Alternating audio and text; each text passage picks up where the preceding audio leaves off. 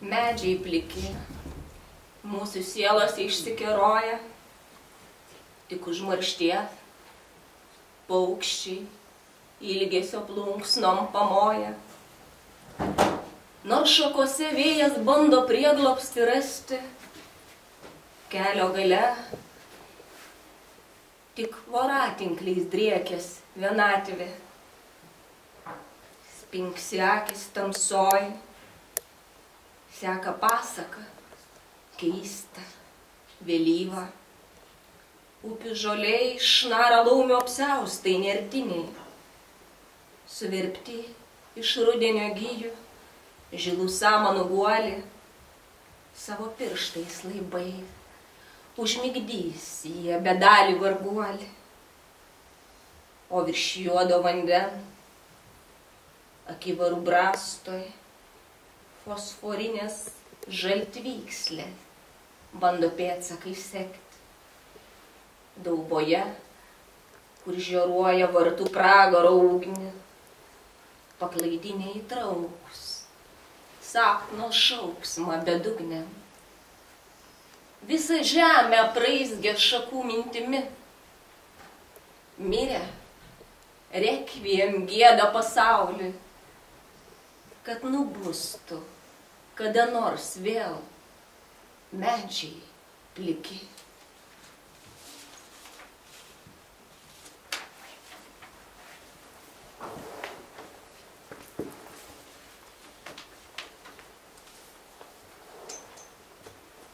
Niekas nelauks namuose ir metai be perstojo rysis apsunkino savo naštos, suglumę ties slenkščiais senai.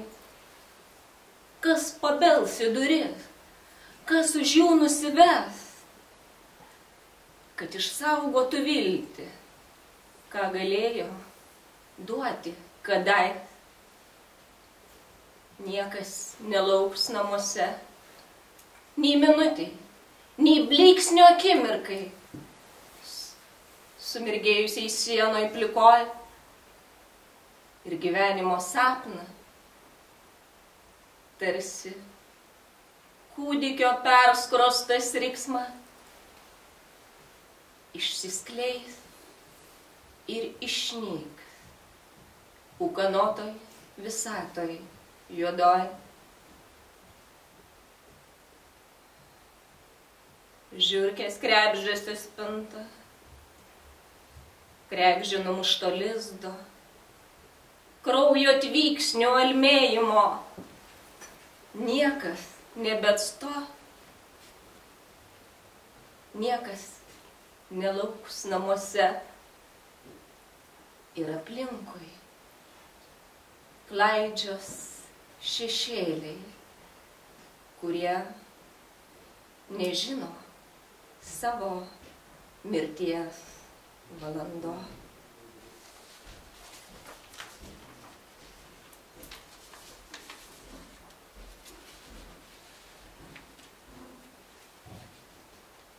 Mirusieji susikibę už rankų, vaikšto žvakių alėjom, kai toks metas budžiu, savo sniego vienutėje vien, kažkur prašliaužia marmuro ašarą. Pamini, vyno gesėjom prie kapelio nemylimo šuns, kuris mirė nugirdytas pienu ir pieno neliko. Neliko gyvų, net ir vaško karolių, nei žvakių, tik alyvų albumai. Juose žaibo kojos, trimvėjais bintuotos ir to, kuris primena mirštantios vardą, jausi tyliausiai pasako. Dabar tik tai Kristus, vienas prasipjovęs aplašinės kaklą, aguonas, beliko tik jos, tarsi mažos planetos, įdegančios adatos augę, užsisivusios Dievui akis, o tada tavo delną, prie mano jo delno, tik stūgaujant velnio paukšteliam. Matau savo tirpstančią veidrodžio kaukę, o joje prie akių obolių tavo veidas prisiūtas, rusena.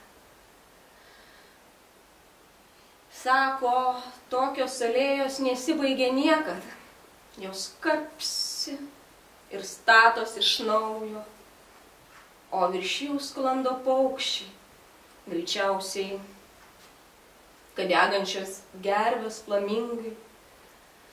Sodinu tavo dantį į žemę, išauga tik lūpos, jos man poteriauja, rojaus gaistrą nuspėja, bet dažniausiai apsako, kokie būna laimingi,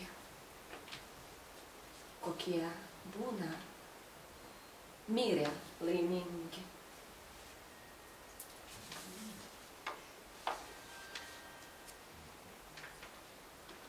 Aš regėjau mergaitę. Aš regėjau mergaitę Vilkolakę, kailsiu pavargusi žvilgsnių.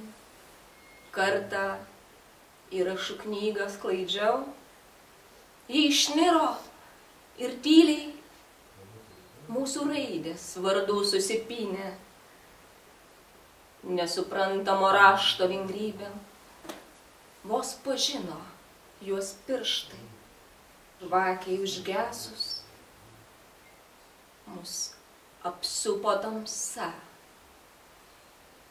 kuri krito lik uždangas scenos. Ši akimirka bus paskutinė, sušnapždėjo kažkas. Nepaleidus viltie savo aklo likimo, gal dar kartą pro įtrūkusi plyšį, išklaidžiau sapnų labirinto į mane kaip šiąnak pažvelg. Aš regėjau mergaitę vilkolakę už menulio deimantinių olų, jos baluojančios siltis paslaptingai švitėjo, slenkant laiptais, krikštolinant kybančių menių, veidrodžiuos tarp dangaus kliautų paslėptų. Ir tvaksėjo širdį. Iki lašo išlyjus, žvakių jūros blausioj mėnesienoje, kai apglėbęs jos kojas meldžiaus, nors žinojau, kad žūsiu, amžiams išnyksiu, savo sielą pardavęs, paukojęs jos demonų, siaubo stabui kraują stingdančiam Dievui, paskutinio jo žemė žmogaus. Kaip lopšinė sena, kaip kvepavimas tavo, kaip alsavimą, nenutrūkstantis vis dar, atsišaukęs man mintise, nenuilstamai aidas kartoja Aš mylėjau mergaitę Vilkolakį, o jos marmuro krūtis su koralų rausvumo gislelėm, išsraigis kipiosiom pievom, lygelėm nekaltom, kurios virpa glamonėjamos skrienčio vėjo, varė iš proto mane. Aš regėjau akis, jos dieną naktį sekiojo, ir spindulius skleidė tarp girių žilai mėlynų, tarsi salos mergelių, netrandamos niekam, apkerėtai ramybei begalinių rojaus laukų, taip apkvaitusiai eitriai, nesibaigiančioj sienoj slaptojoj, kai į tolimą nepriepiamą tunelio šviesą, susikybę už rankų, mes sklendėm abu be sparnų.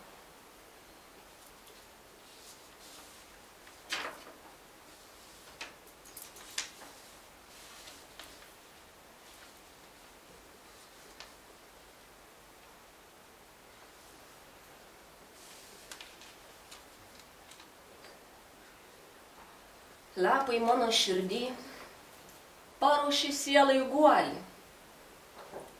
Jie ateis kvatodama prieš vienatvę ir mus. Ak, nereikia gaidų, graudulingų, nereikia.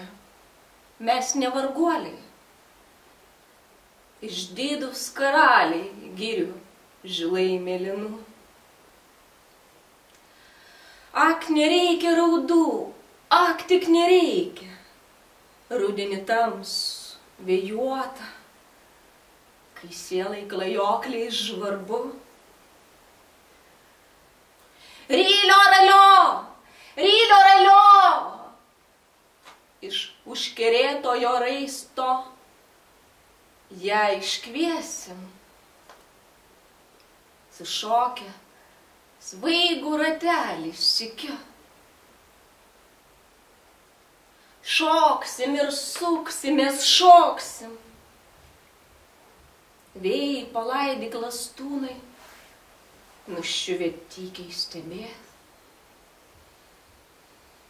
Ašarom rytantis veidų tavo mergaitė, kojom basom iš vasaros pievų žolės. Varpas senas tylės, bokštė seniai nedainingas. Nors pakartoti ir geis tavo širdies dužius. Suriks raganius klastingai, nesuprantamus savo dužius. Lapai, mano širdį, guolį šauksio tau paruošė, vėjai apgobė skraistę, ėjo žvalgyba ratu,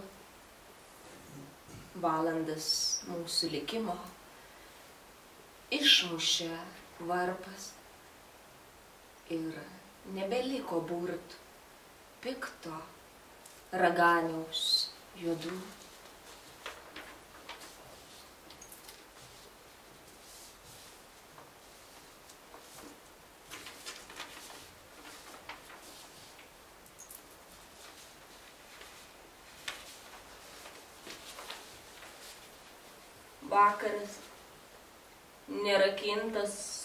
Šuo, garsiai gatvių pakampėmis loja.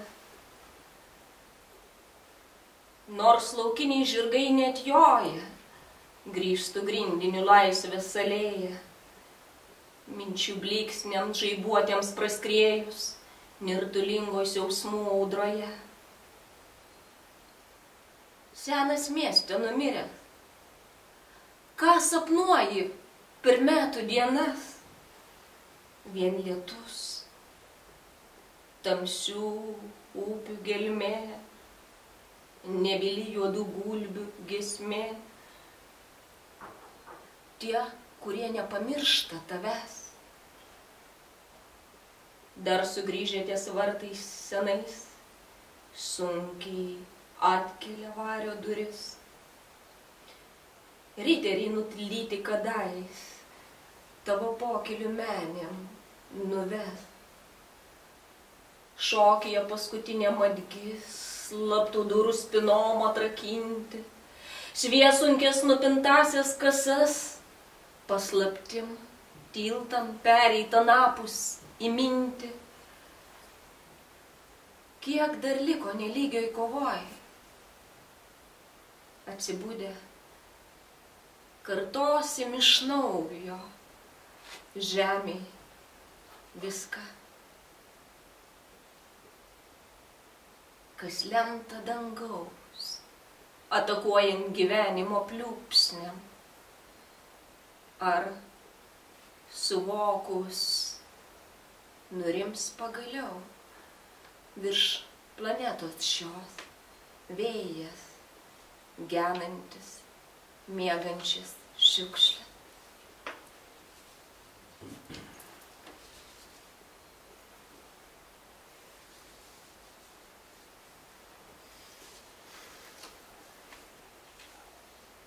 Ar girdi, kaip stiklinių lietumi dušta vasaros formos, taip ilgesingai ima verkti dangus? žalia vasaros rūba, gamta nusirengus, įmauk sudažyti laukus. Ar matai, kaip išsilieja dangus vyno raudonių ant melancholiškai rymančio miesto? Išprotėjusio medžio šešėliai taip ilgisi rudeniu kvepinčio vėjo. Ar jauti, kaip ruduo nuplėšia kaukę netikrą? Vieniša naktis pripildo žvaigždžių, o širdis tartum juodų varnų suklinka, aš rudens paleist negaliu. Rudenį slenka mislingai vienuolis, jo žvilgsnį kaupia tamsa. Jam praslinkus pro vieniš didelį medį rudens vitražuose ima liepsnuot. Amžinybės liepsna. Žinojimas atveria kitą tikrovę. Jis rudenio dievui paukoja save. Mirties gyvenimo kovo pažinę ištveria amžinybei per naujo save. Juk šviesa negyvent be šešėlio, taip mokė kadaise mus beribė gamta. Ir ruduo moka džiaugti, kai sieloje gimsta kančia.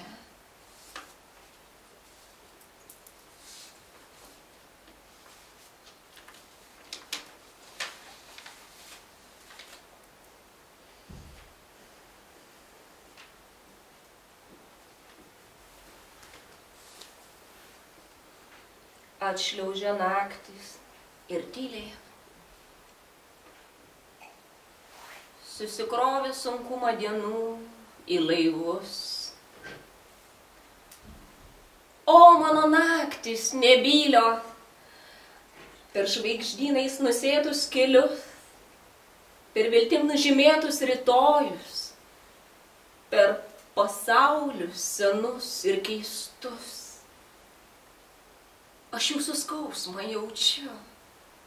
Aš jūsų nerimo ilgį suskrieju. Nemačiau šviturių, jie kelius mums gražina, kai išsekę prarandam krantus.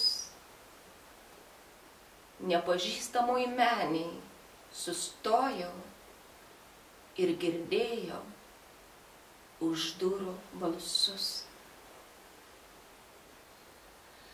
Kai užmigsim visi mes, kai užmigsim visi, kai aslinks liudesys, kuris žemę virgdina, kai išplūs gilus liudesys.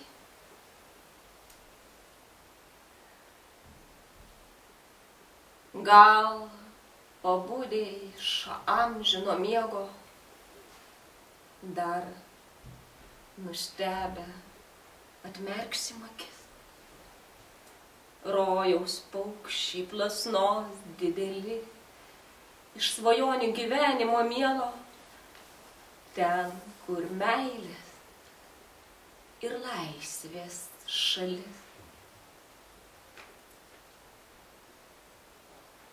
tamsą skrodė minčių laužai. Pylė audros ledinės ir vienatvė akla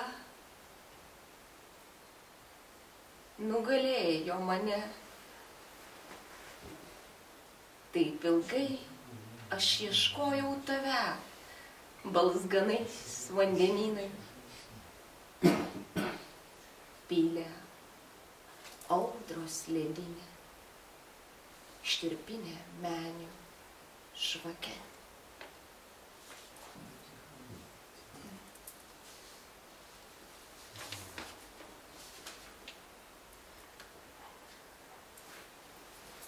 Tavęs aš pasilgau, kai tamsoj, keistai akis išplėtę, slankioje aplink nematomų sargų gilios vienatvės, šešėlių svajos ilgos. Kaip bundant rytoj saulės spinduliuos, lygydančion versmėn pasinardinę, jie susilies su klystančiais keliuo, bežadėm lūpom sušnipždėję, tavęs aš pasilgau. Tavęs aš pasilgau daug stipriau, nei kada nors galėčiau suvokti ilgėtis šios amžinybės saulės. Pravėrę skraistė žemiškos tiesos, sakysim viens kitam žodžius šiuo be apgaulės. Aš pasilgau valandos, laukimo smiltim užneštos, būties akimirksnio skaidraus, kurio kvepavime naujai atgimsiu, kai neišvengiamoj lemty, kurią pakeisti tu gali. Tave aš apkabinsiu. Ačiū.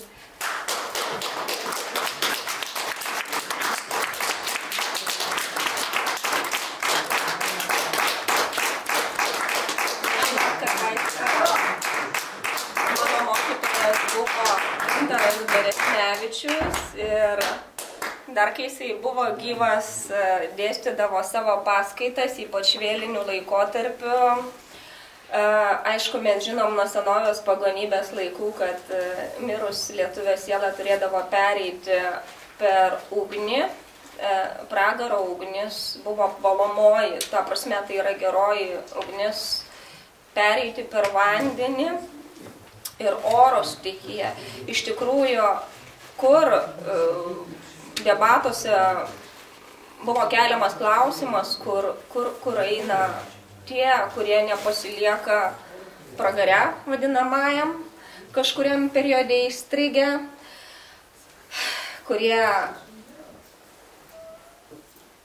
pateko į rojų arba kurie liko pragare, bet kurie vat, bu, yra tarpiniai būsenoj nužudyti, mirė ne savo mirtim, kur, kur dedasi šitie, šitos sielos.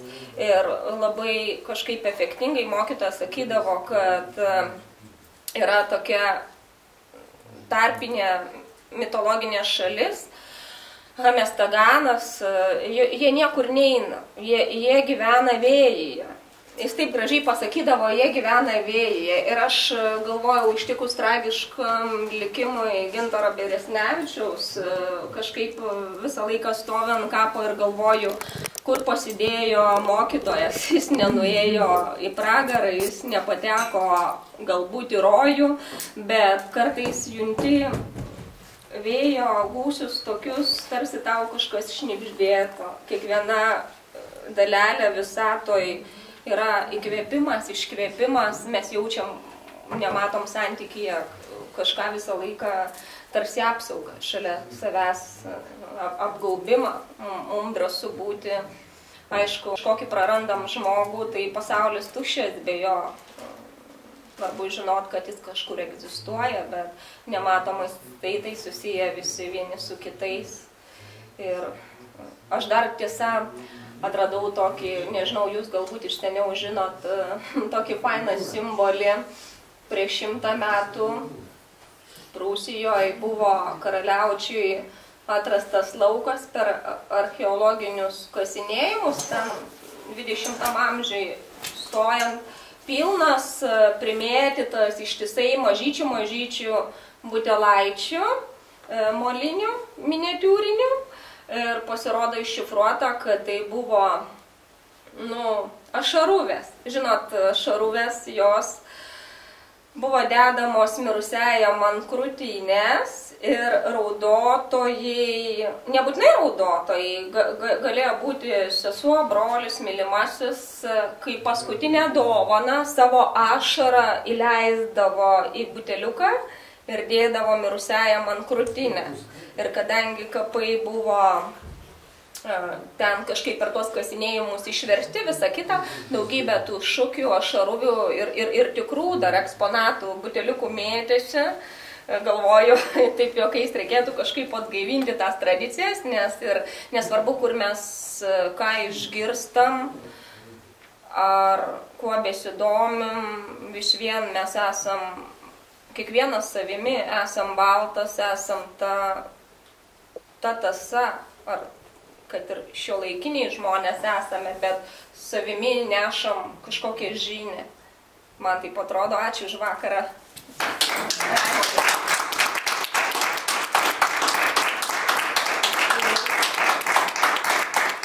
Ačiū Raimondai. Ačiū Raimonda tau.